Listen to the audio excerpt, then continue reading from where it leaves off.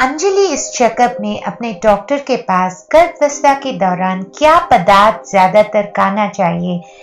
Doctor कहते हैं, माँ को हर रोज विभिन्न प्रकार के भोजन और पौष्टिक आहार खाना चाहिए, जो गर्भावस्था के दौरान उसके लिए और बच्चे के लिए अच्छा है। वे कास पदार्थ होते हैं जिनमें फोलेट, लोहा और कैल्शियम होता है। फोलेट किसमें होता है? यह अंजलि जानना चाहती है।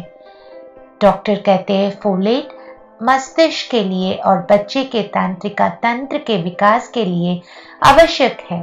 फोलेट हरी पत्तेदार सब्ज़ियाँ जैसे पालक, मेथी, चौलाई और बथुआ इन खास पदार्थों में बड़ी मात्रा में मिलता है। इनमें फोलेट बड़ी मात्रा में मौजूद है। यह भी सुनिश्चित करें कि आप उन्हें पकाने के पहले और खाने के पहले अच्छी तरह से धो लें, क्योंकि गर्भवती महिलाओं को गर्भावस्था के दौरान रक्त की आपूर्ति कम होती है और उन्हें अपने बच्चे में भी रक्त कोशिकाओं के गठन का भी समर्थन करना चाहिए।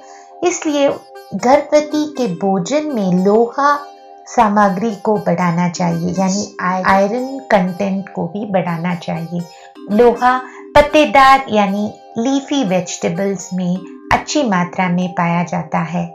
बादाम भी लोहा और कैल्शियम का एक अच्छा सोर्स है। गर्भावस्था के दौरान विटामिन बी सिक्स एक महत्वपूर्ण पोषक तत्व है। विटामिन बी सिक्स आलू, केला आदि में पाया जाता है। केला मॉर्निंग सिकनेस से सहायक होता है।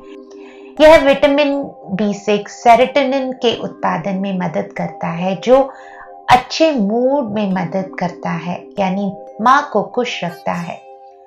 आंवला, नींबू, संतरा और मौसम्बी, इन सब में विटामिन सी का मात्रा ज़्यादा होता है और इनसे शरीर को बीमारियों से लड़ने की ताकत मिलती है।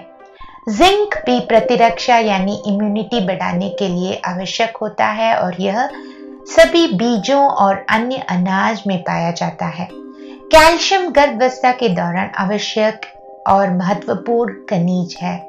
दूध और हरी पत्तेदार सब्जियों में कैल्शियम का मात्रा अच्छी तरह होता है।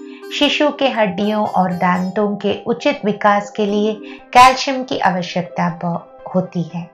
अंडा कोलिन का एक बड़ा स्त्रोत्र यानी सोर्स है और प्रोटीन का भी एक अच्छा सोर्स है। दाल जैसे मूंग की दाल, चना, राजमा हर मसूर और साथ में अंकुरित दाल, दालें यानी स्प्राउटेड मूंग, यह सब भी खाना चाहिए। इनमें प्रोटीन का मात्रा ज़्यादा होता है। इसके साथ जवार, बाजरा, गेहूँ, रागी, इन सब में फाइबर का भी मात्रा होता है, जो आपके पाचन को काम करने में मदद कर सकता है और कब्ज से भी दूर रखता है। इन सबको भी आप अच्छी मात्रा में खाना चाहिए।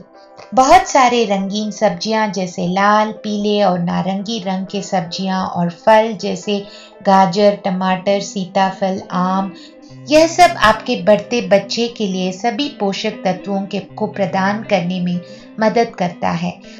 और सबसे महत्वपूर्ण गर्भवती महिलाओं को हमेशा हाइड्रेट रखनी चाहिए। प्रतिदिन तीन लीटर यानी आठ से दस ग्लास पानी पीने की कोशिश करें। यह पानी शरीर में ऊर्जा रखता है और कब्ज को रोकता है और शरीर से विषक पदार्थों को निकालने में मदद करता है।